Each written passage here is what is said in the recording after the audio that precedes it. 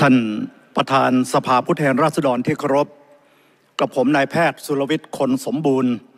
สมาชิกสภาผู้แทนราษฎร จังหวัดชัยภูมิพักเพื่อไทย กับผมขอหารือเพื่อให้การสนับสนุนส่งเสริม การศึกษาด้านวิชาชีพ แก่ลูกหลานชาวจังหวัดชัยภูมิ ในฝั่งเหนือของจังหวัดชัยภูมิ โดย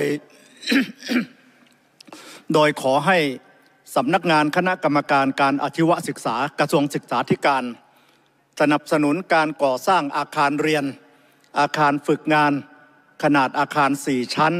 จำนวนหนึ่งหลัง พร้อมขอให้ก่อสร้างแฟลตที่พักของครูอาจารย์ รวมถึงการจัดสรรงบประมาณในการสนับสนุน เครื่องมือก่อสร้างเครื่องมือช่างต่างๆ ให้กับวิทยาลัยการอาชีพแก้งคราะห์อำเภอแก้งคราะห์จังหวัดชัยภูมิ ท่านประธานที่เคารพครับ วิทยาลัยการอาชีพแก้งคราะห์ในปัจจุบันได้ตั้งมาแล้วกว่าประมาณ 20 ปี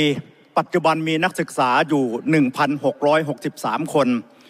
เป็นวิทยาลัยการอาชีพที่ให้ความร่วมมือกับชุมชนเป็นอย่างดีทำให้ได้รับความนิยมจาก พี่น้องประชาชนได้รับความเชื่อมั่นศรัทธาจากพี่น้องประชาชนนักเรียนนักศึกษา โดยเฉพาะอย่างยิ่งโครงการจัดการเรียนการสอนแบบทวิภาคีทำให้ลูกหลานคนยากคนจนสามารถเข้าเรียนได้ โดยมีงานทำมีอาชีพ มีรายได้พร้อมกันเมื่อจบการศึกษาแล้ว ก็สามารถที่จะมีได้งานทำที่ดี มีงานรองรับอยู่ จึงขอ ให้คณะกรรมการการอาชีวศึกษาได้สนับสนุนงบประมาณในการก่อสร้างอาคารเรียนอาคารฝึกงานตลอดถึงที่พักครูบาอาจารย์ และอุปกรณ์เครื่องไม้เครื่องมือต่างๆ และที่สำคัญในการปรับโครงสร้างการวศึกษาขอให้ยกระดับ